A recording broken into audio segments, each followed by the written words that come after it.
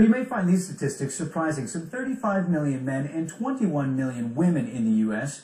have lost their hair. In some cases, the alopecia is genetic. At other times, it's the result of some sort of health condition. And Jodi Pliszka is here to share what she has done to turn this issue into a motivational tool for her for others, uh, as well as sharing your story and everything that you've invented. You brought props today. Wonderful. I did. I did. About 24 years ago, I was affected with a condition called alopecia areata, which is an autoimmune disorder where your body produces too many white blood cells. The white blood cells think that hair is an infection and kills it off.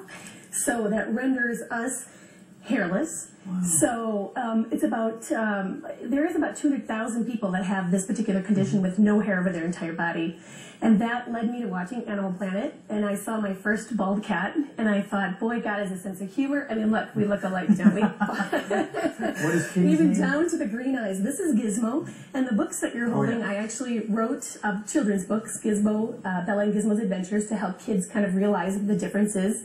Um, that we have in life, and then I invented my plush stuff, uh, Bella Doll. Mm-hmm. And all of this won me uh, my backstory as a top finalist on American Inventor TV show.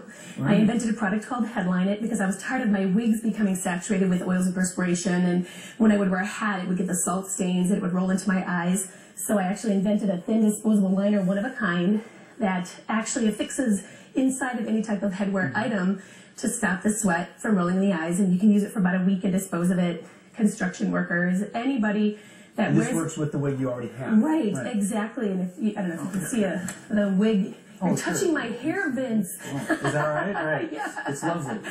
yes, right. of course. And you can see, which is a great thing for like cancer patients or mm-hmm. people like me, those little itchy, pokey hairs that come through. Right. Um, it'll protect it. You wear it for about a week at a time. You don't have to wash a wig or a hat or a um, you know, any type of helmet or liners as often. So we're working a lot with the military while I'm holding a military yeah. helmet. And all of this led me to become a keynote speaker.